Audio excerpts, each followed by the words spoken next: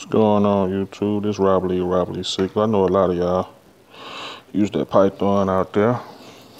It's a popular uh, piece in the hobby. And I know a lot of y'all use it. Some of y'all might be fortunate enough where y'all can screw this on straight on the thing.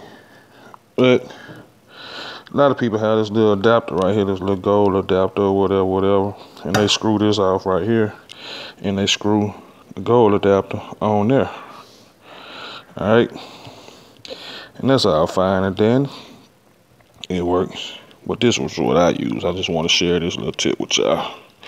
I use this little piece right here. Been using it for a few years now. I got it off of Amazon. I don't exactly remember the name of it.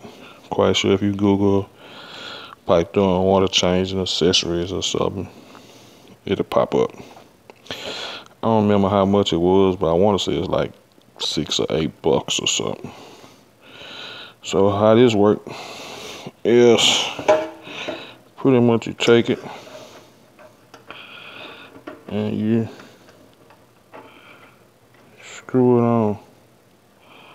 Trying to do this one handed kind of tough. Hmm, got it. Alright, you screw this on here. Screw it on there like that. Get the hand tight. And then from there, you just take it and you just pop it on like that. Usually what I do, I just always leave it all connected, take it off. I get ready to use it, I just pop it on like that. So I usually leave it on, do it like that, cut it on. So that's my little tip for the day. This little water change accessory piece right here. I don't know exactly what you'd call it, but I know the majority of you guys are pretty swift. Y'all will find it, find the name of it.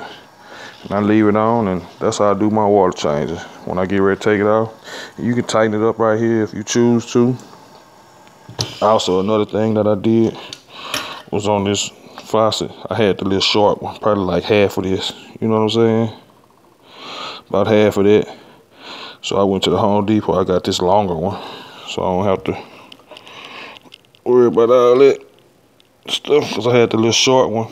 And then I had to tighten this little bolt up on it, screw up on it. So now I went to Home Depot. I bought me a little longer piece for my faucet. And all I do is just slide it on like that and that's it. Turn my water on, fill my tank back up.